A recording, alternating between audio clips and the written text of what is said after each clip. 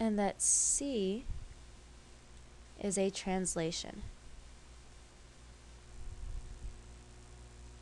Okay, let's look at example 2. You're given the vertices of triangle ABC, where A is at 4, 4, B is at 6, 6, and C is at 7, 4. This is a multi-step problem.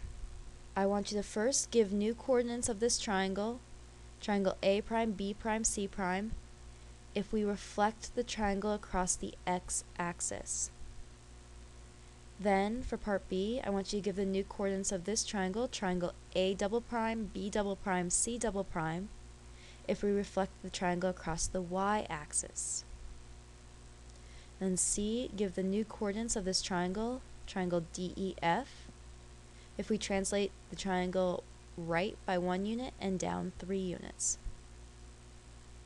And lastly, give the new coordinates of the triangle, triangle GHI, if we rotate the triangle 90 degrees counterclockwise.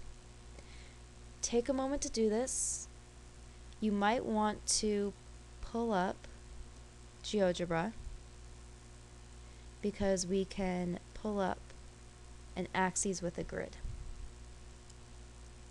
And that will let us plot our points on the Cartesian plane. When you're ready, resume your video, so pause it now and resume once you're ready to see the solutions that I'm about to show. Alright, originally we were given the three points, 4, 4, 6, 6, and 7, 4. So we have point 4, 4, which is A.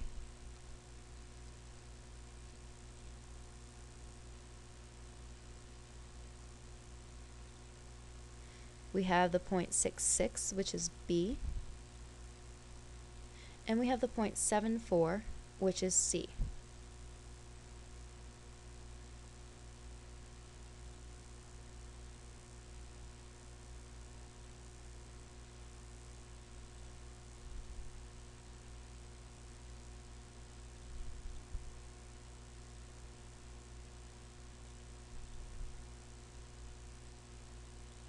Okay.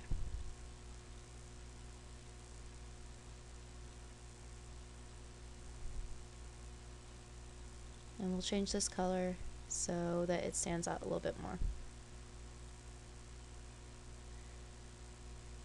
So the first thing we want to do is we want to give the new coordinates of this triangle if we reflect the triangle across the x-axis. Which means we're going to change the points so that they are now below the x-axis. So positive 4, 4, which is what A is,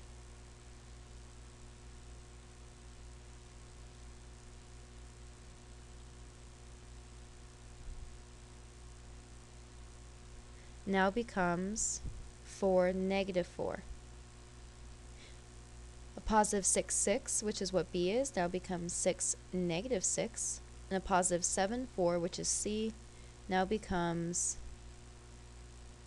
7, negative 4.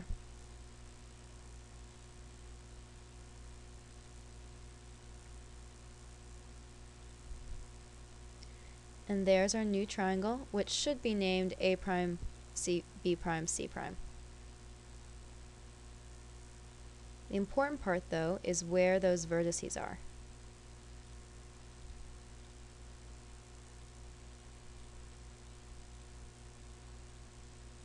And we see that, in general, when we reflect across the x-axis, the x-coordinate of each of our points stays the same.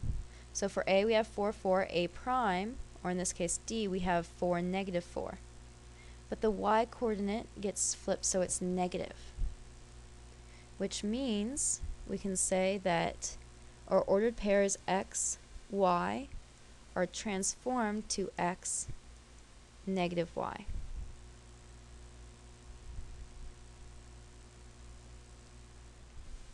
have the point 4, negative 4, 6, negative 6, and 7, negative 4.